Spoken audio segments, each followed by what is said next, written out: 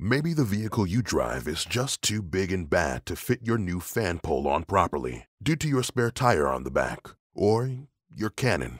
For situations like these, you will need something bigger and better.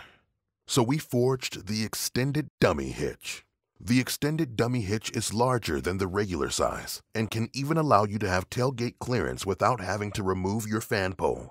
With the extended dummy hitch, the hitch tightener is even more important to stabilize it so slide it in over the end of your extended hitch.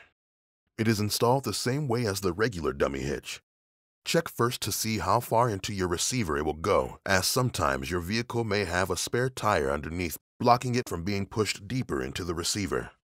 Align the hole you want in the hitch with the one in the receiver. Insert the large hitch pin through the aligned holes in your receiver and clip it in. Slide the hitch tightener up against the hitch receiver and hand tighten the bolt then using a 3 4 inch wrench, tighten until all give has been taken out of the hitch and it's as solid as a rock.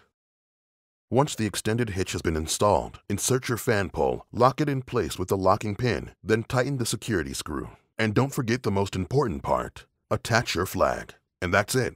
Finally, making something bigger really did make it better.